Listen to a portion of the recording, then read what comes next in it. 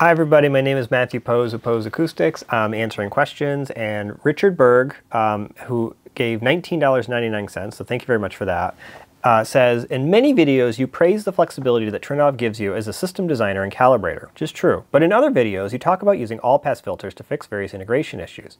So how do you implement an all-pass filter on processors like a Trinnov that don't expose them, expose these filters to the end user? I don't. I suspect it's possible to combine PEQ-style filters into a pure phase rotation with amplitude shifts canceled out, but don't feel like digging out my EE textbooks from 25 years ago. I'm not really sure how you would do that actually because they're minimum phase filters. So if you were to completely cancel out the amplitude uh, shift, you would also cancel out the phase rotation. So um, maybe there's a way to do it. You're probably, I shouldn't say you're probably, you may be right. I have no, I'd have to think about that I guess more. That isn't what I do. Um, so I don't use all-pass filters in those scenarios. Technically, the Trinnov processor would automatically do it through the optimization um, because it has the ability to create that or an equivalent through an FIR. But um, what you're talking about, so RBH has an all-pass filter in their DSP. And so when we've had their subwoofers and played around with it, we've been able to do things with that. There are some like uh, QSYS and some of the other systems out there also have all-pass filters available. So there are pro DSP platforms that have all-pass filters and we have used them to solve these issues. I don't want to overstate how necessary they are. I don't use them very often and they're not all that necessary. There, but there are some complicated situations where they've come up and an all-pass filter has been a good way to address it. I have actually talked to Trinnov and Storm about adding all-pass filters. And I think there's a chance that we could see all-pass filters added to these processors in the future. But the general feedback I've gotten has been that the number of people who would properly understand how to use them is very low and that it could create problems for, for these companies from a support standpoint.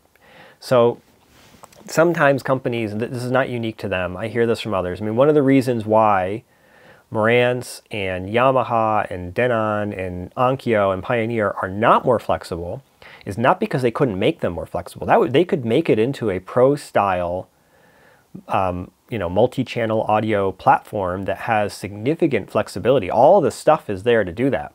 They have actually worked very, very hard to not do that because the the 99% of consumers would have no idea how to use that. And what would end up happening is the amount of technical support that they would have to provide would be so significant and so expensive that there would be no way for them to stay on top of that.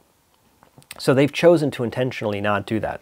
I've actually asked some of these companies about particular setup capabilities that I would like and have been told that they will not add that. And it's not because they can't or they don't see the value. It's because they don't want to deal with the support requirements that it would create.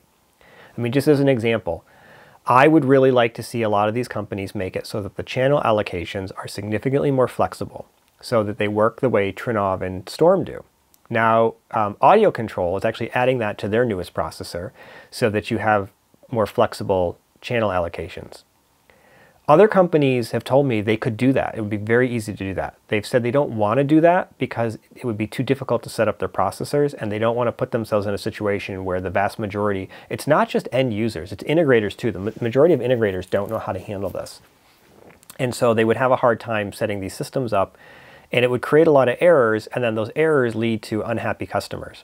I mean, I can't tell you how many times I've walked into a system where an integrator set up a Trinnov and then I walk in and it's basically operating as like a 2.1 system or a 4.1 system or something like that.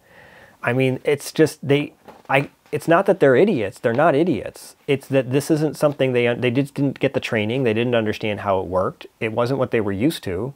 You know, most of these processors are a lot easier to set up. And so they had failed to do it correctly, causing the system to not work right. Um, I've also had situations where I've walked in and somebody set it up and the channels were wrong. So the left, center, and right was correct, but as an example, they set the side surrounds as the rear surrounds, and they set the rear surrounds as the, you know, something else, I don't know, the wides or something like that, or the side surround twos or something along those lines. They didn't really understand what they were, and so they selected the wrong speakers when they were doing it. Now, Trinnov put together a training, and it was always assumed that it would be used by more capable integrators, and really wouldn't be an end user setup product. It can be, and many of you buy it to do that with it, but it wasn't intended to be. On the other hand, products like the Marantz and the Denon and the Pioneer and the Onkyo, etc., those were never really intended to be exclusively integrator products. They were always intended to be for either integrators or for end users to easily set up because they wanted a more mass market appeal and that limits what features they make available. None of those companies will ever provide all pass filters. And companies like Storm and Trinnov may, but they're often reluctant to do so because of the limited use. So like I said, even if it was available, it's not like people are to start using them left and right. They're not all that commonly used. There's, there's some very specific reasons to use them. They're very technical reasons that most wouldn't understand. They're hard to set if you don't understand them. And they, they would probably get messed up and create more problems than good.